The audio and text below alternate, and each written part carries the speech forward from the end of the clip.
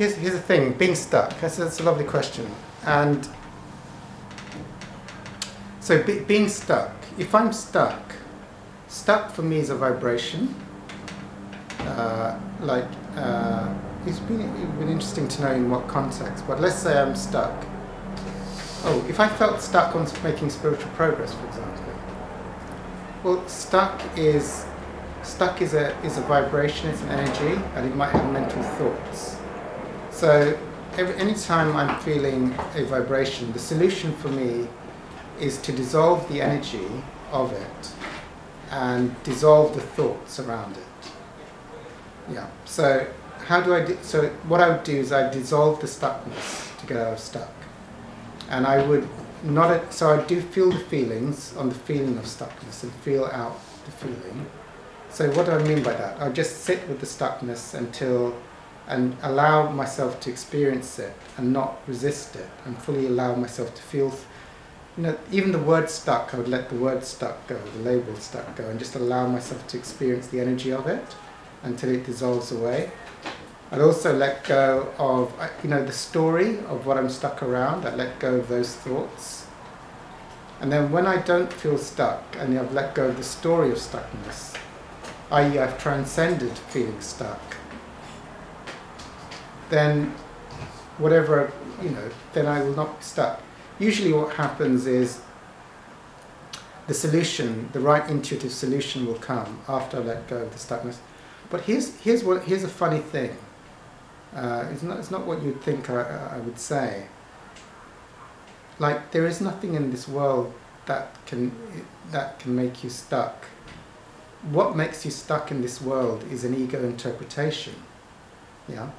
What makes you stuck is an ego interpretation of a situation you know, let, let's say uh, let's say I'm in a car, it breaks down, and I'm, I'm in the middle of nowhere, and I suddenly feel like I feel stuck, and I have thoughts that I'm stuck. So I feel stuck, and I have thoughts I'm stuck, and it seems like it's real. This is real. I'm I'm in a car that's broken down in the middle of nowhere.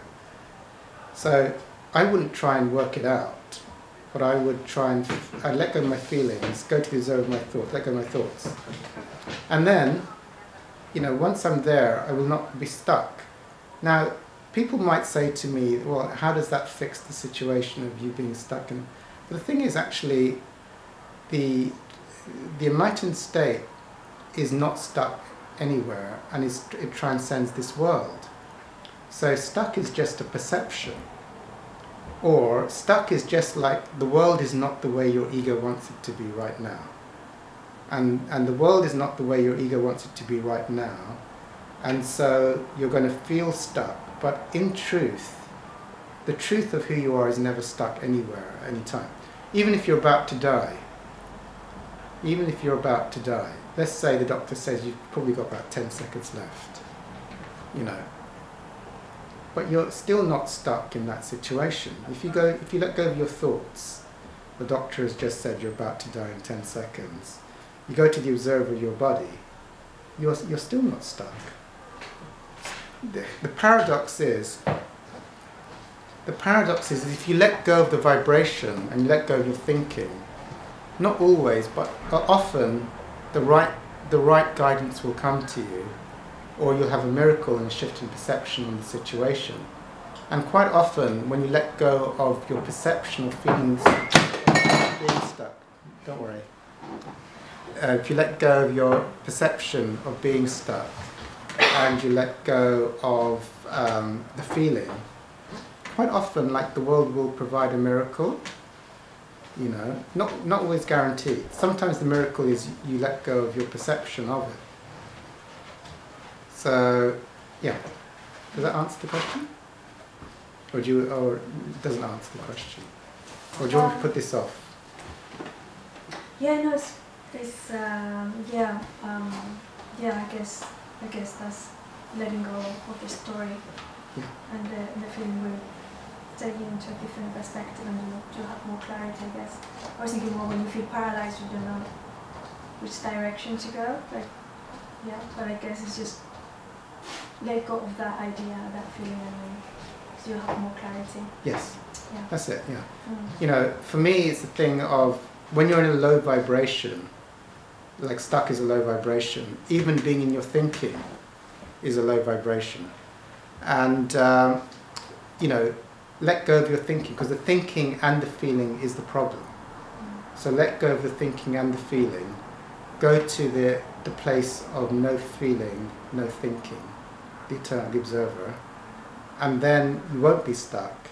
But often a miracle or insight comes, and even if a, even if you're stuck in the middle of the countryside and a miracle doesn't come, uh, and the car doesn't miraculously start, you'll still you will not be stuck. Probably realize that God wants you to meditate until someone drives past or something like that. But you'll see it differently. You know, you'll be just happy, you'll be chilled out, the cows will be moving, and you think God wants you to be with the cows for today. So you're not really stuck. So that, that's it. So that's that's the stuck thing. So stuck, but the world, you know, the the world, nothing in this world, in the, there is nothing in this world. The Course of Miracles will agree with me. It's not the world that makes you happy. The world, do not seek your happiness in the world. Do not seek your happiness in uh, in a in a country being the only place you can be happy. And also, if you're if you if you get to the observer, like the observer is with you everywhere you go. So, if if anyone goes to the observer now or, or ever experienced the observer, is there such a thing as a country being more exciting than where you are now? Is there such a thing as meeting a person that's more exciting than now? Is there is there a book that you have to read which is going to be more exciting than now? Go to that place. And here's the thing: like when you're in, where, and this is the thing of the love of, the love of. There's no words for to call it. The love of being in the eternal now, the observer, or the or the grace, or the flow state. See, as soon as you have something that, oh, you know, what what is it in me that's excited to read another book? What is it in me that's excited to visit another country? What is it in me that's excited to listen to another music? Can there be something that's more exciting than now when you're in the now? So you ask that question when you're in the now, because that would mean that the now is not complete and whole in and of itself. Does that make sense? It's like, is everything, when you're in the timeless, eternal field of grace, when you're in the holy instant, can such a thing exist as there is a book tomorrow that I'm going to read which is more exciting than now? When you're in the eternal now, the holy instant, is there a country that you can be excited by that you need to visit? Can those things. So the thing is, like, if you're dedicated to the holy instant, or the world not being the source of your happiness, then that would mean that that state is constant, wouldn't it? That's a constant state of being in the now. So here's the thing of being excited by things in the world. Can you see what I'm talking about? No, you can't see what I'm talking about. So if you're in the now, you can't be in the now if something in the future is going to be more exciting than now. If you're in the now and there's something within your ego that can be more exciting than now, then you're going to have a life of up and down. Bahamas is up, non Bahamas is down.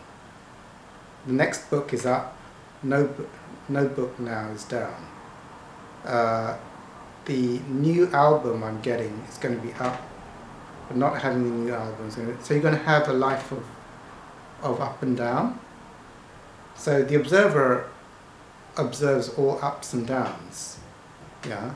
So there is no thing as as tomorrow or a future event or a future book or a future co- country being more exciting than now.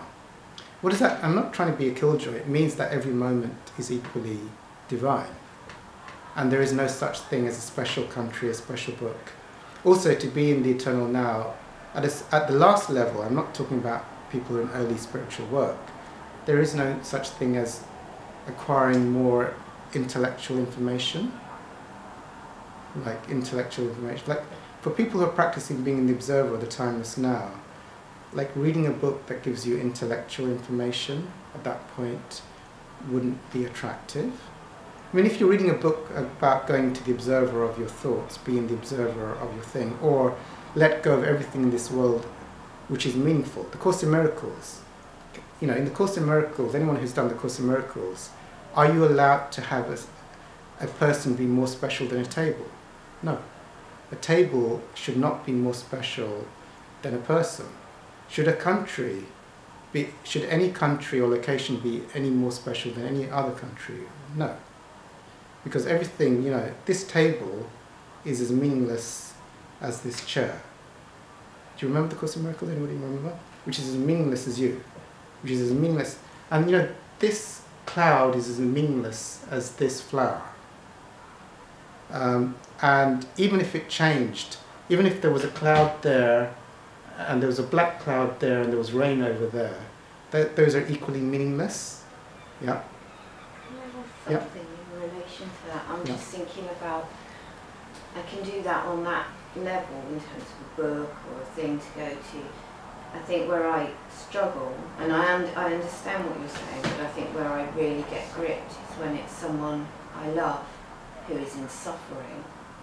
And I know that's making that relationship special, but say my connection to my son, you yeah. know, so, and I can't get to that person, I can't, you know, I, that's where I really get stuck. But to get into the observer when that situation is going on, just find so much harder.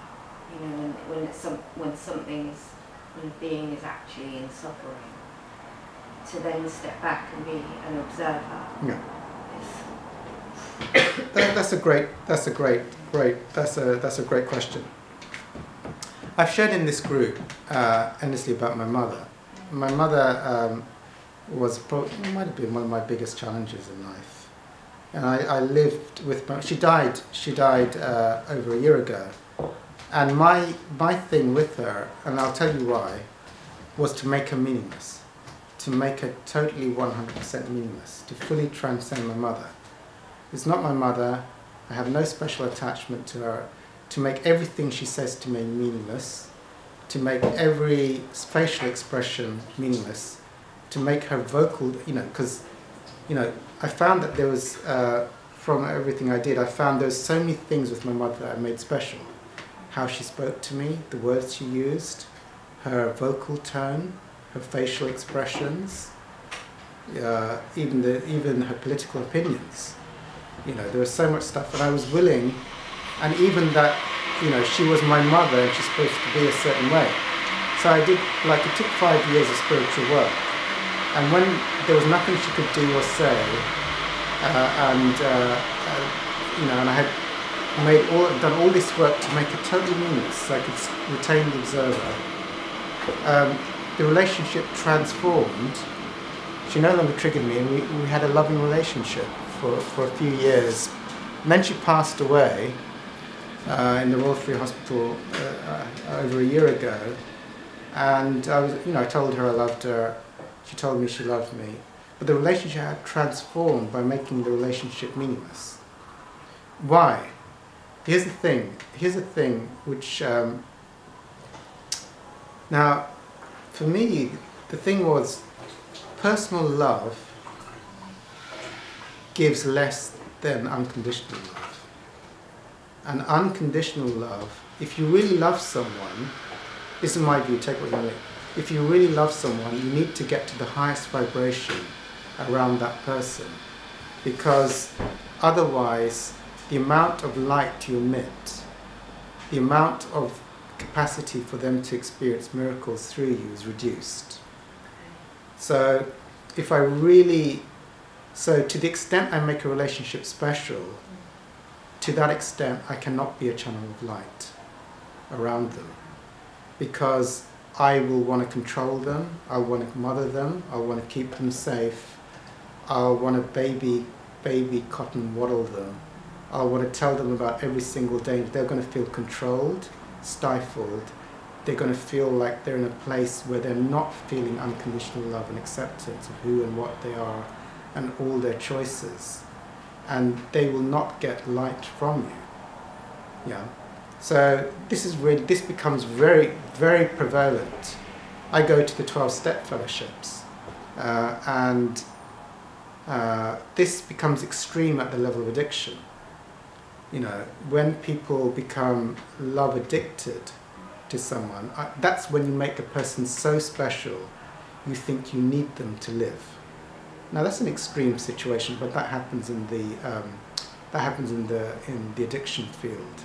You actually become dependent on them, mm. and you think you can't live without them, and then you start to control them like mad, because you want to keep them the way you want to keep them.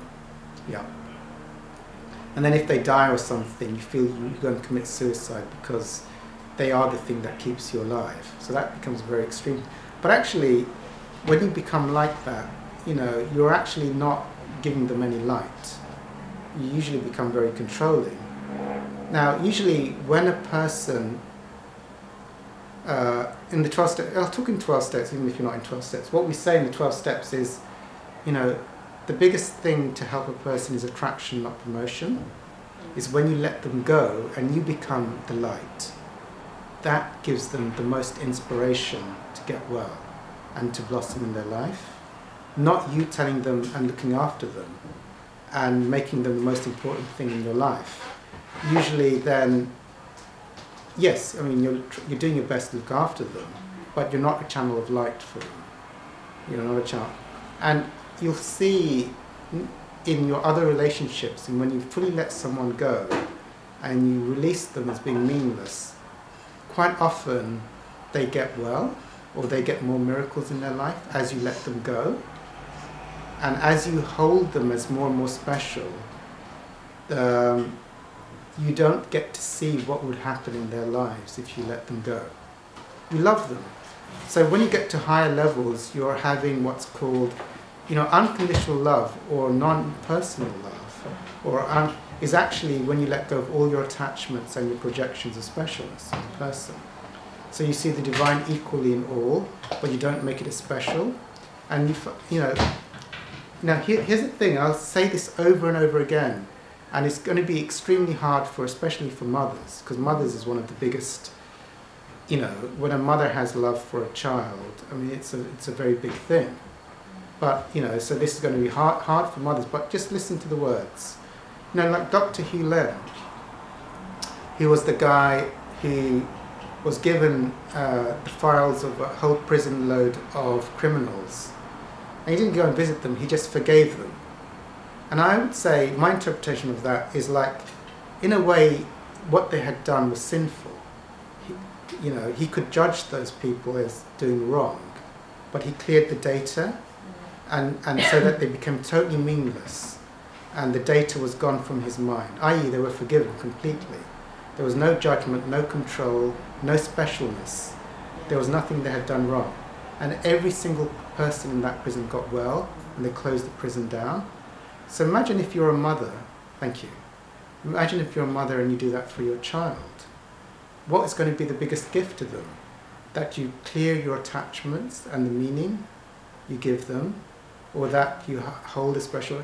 I'm not saying I'm not saying not to do that, but I actually mm. feel it's a bigger gift to let them go than it is to hold on to your special attachment. You give them more, mm. you know. And try that in your other relationships. You find that as you let them go and you let them go, they have miracles and they get better. So imagine what would happen if you let the ones you really cherish. I'm not saying don't love them, but love them without attachment. Love them without meaning. That sounds very funny, but it's like you find an equal love for every human being, and that love is pure. But would you not give pure love to your child? Or would you rather give the love of attachment to your child? I'm not saying one is up, but if I had children, I don't. But I would actually try and make them meaningless and try and have impersonal, unconditional love. To have a love for every human being which is not more special for my child. Because I know that would give them more than me having a special love for them. So that sounds paradoxical. I know that sounds very paradoxical. But I know that when I let my mother go, our relationship blossomed because I let go of all my attachment. I let go of all my special relationship to her.